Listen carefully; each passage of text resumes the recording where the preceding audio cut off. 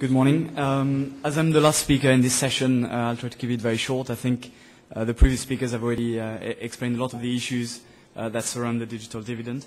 Um, so I'm not entirely sure to use this, but I'll find out.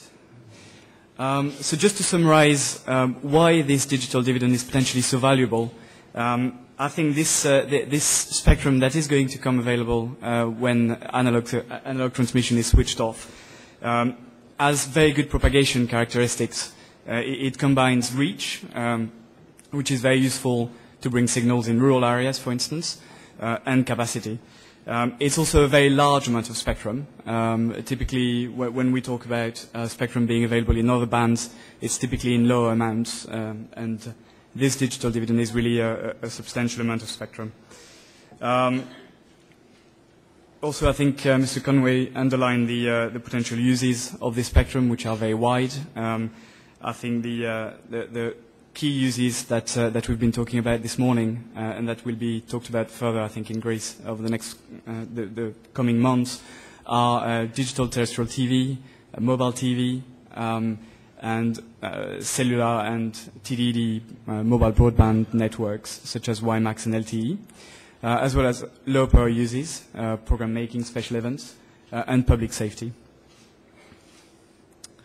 Um, so at national level, uh, I think the, the key questions that are to be asked, uh, I think uh, uh, have already been mentioned. Uh, just to summarize them briefly, um, uh, there are some technical considerations, in particular with regards to interference obligations with neighboring countries uh, under what's currently uh, the GE06 agreements.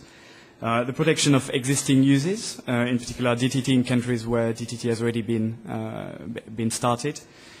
Um, there's already some, uh, some there's also, sorry, some consumer considerations. Um, if you're a consumer and you already have a, a rooftop television antenna, uh, there is a cost associated with changing this antenna. Uh, similarly, if you already have a set-top box for one type of digital terrestrial television, there might be a cost if you're forced to change this set-top box. Uh, and then interferences that uh, previous speakers have already mentioned uh, in quite a lot of detail. In terms of commercial and economic considerations, um, I think the, the four elements that we've got here are firstly availability of, of alternative platforms. Um, clearly, some services can only be carried in the digital dividend spectrum or in the, the, the UHF spectrum, in particular DTT. Uh, but other services can also be carried uh, on other bands, for instance, the 2.6 gigahertz band, the 900 megahertz band, etc. Uh, the scope for economies of scale, uh, we'll talk about harmonization a bit further, uh, and economies of scale are clearly one of the benefits that can be achieved from more coordination or harmonization at the European level.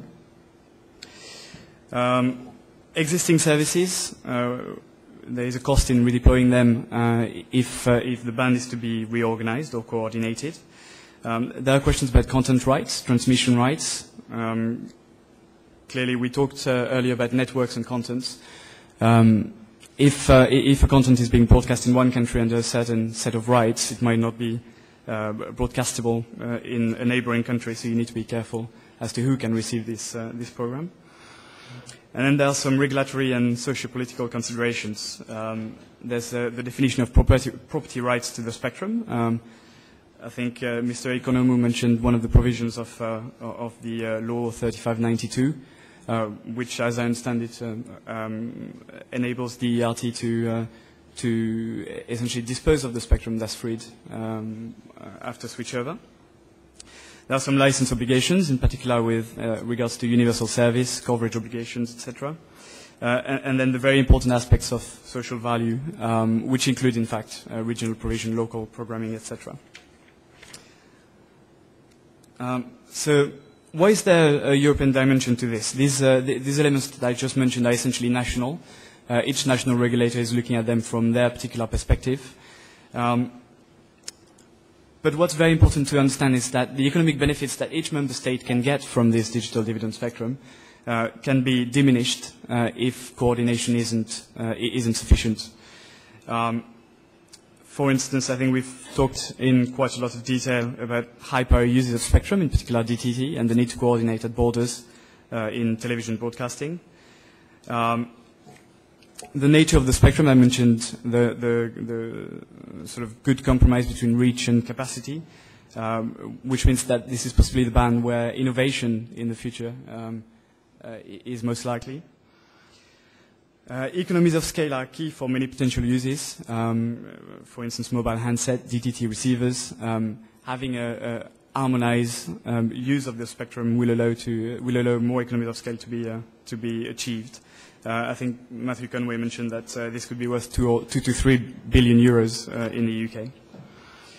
Um, then again, there's the dimension of the single market uh, and the benefits that can be achieved from um, from enabling uh, citizens of the EU uh, to use devices and services across borders.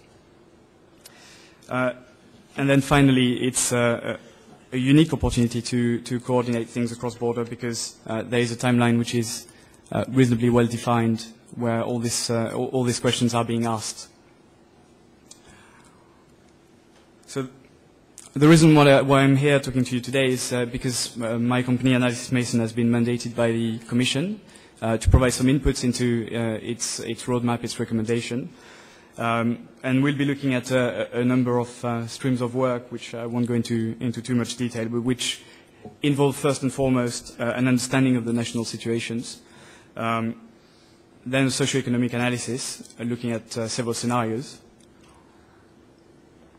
and finally some, uh, some recommendations for a roadmap uh, for coordination.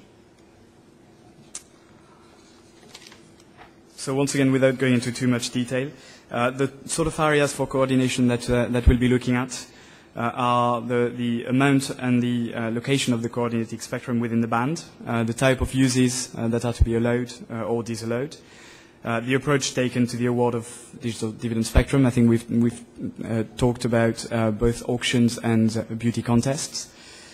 Um, the timing of any primary awards, I think uh, previous speakers have emphasized the need for speed, um, so this, this timing issue is, is quite important. The scope for a secondary market activity, uh, spectrum trading, etc. And finally, uh, obligations, renewal rights uh, that are attached to, uh, to this spectrum. Um, so there are a number of options that are opened uh, for action at EU level. I think at this stage we're not um, ruling out any of these, of these path of actions, and I don't think anything has been decided at all uh, uh, as yet. Uh, but clearly the, uh, the Commission could decide to, uh, to take no action and to leave Member States um, to pursue their, um, their sort of national interest uh, within, the, uh, within the purview of, uh, of GE06 and existing, existing agreements. Uh, the EU could provide guidance on uh, key policy areas, uh, such as the availability of spectrum, maybe a subband of spectrum, as we've talked about earlier. Uh, or maybe a mixed approach, uh, which may, might include some aspects uh, which will be mandated and some aspects which will be left to, um, to the discretion of member states. Um, I won't dwell on uh, technical, uh, technical evolutions. I think uh, the speakers before me have explained very well the uncertainties um, that, that beset this debate with regards to, to the future of HD transmission, um, new technologies, new compression technologies, etc. And finally, just to, to give a, a brief idea of the time, timing uh, of this study, uh, it, it's a very long study. It's a study that started, I think, in earnest in December uh, and is, uh, is forecast to last until September. Um, we're very much uh, at this stage in the, in the information gathering stage. Um, I think we, we, we, we, we've been discussing with member states. Um, we've been uh, with a questionnaire which has been forwarded to the, to, to the different authorities, uh, and we're getting responses uh, uh, at the moment. There's a, a number of dates, a couple of dates which are important uh, coming up, which Mr. Niepold already mentioned. Uh, 6th of March, there's a stakeholders hearing uh, where different representatives from, uh, from the broadcasting, the mobile uh, industry, uh, and other interested stakeholders are invited to provide their views. Uh, and I think there's a tentative meeting on 1st of April um, with member states. Um, so I think we, we, we, we're looking forward to getting the input from, uh, fr from Greece on this, uh, on this topic. Um, I understand from the discussions this morning that it's a, it's a very complex process which is, uh, which is creating a lot of debate. Uh, and I hope, uh, I hope we'll have the opportunity to, to get your input and to discuss with you um, what's relevant for you. Thank you very much.